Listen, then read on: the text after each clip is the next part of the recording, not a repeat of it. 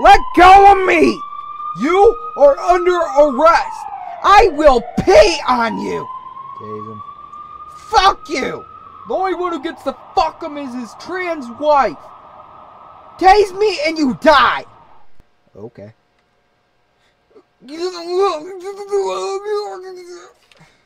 Nighty night. Damn, he pissed himself.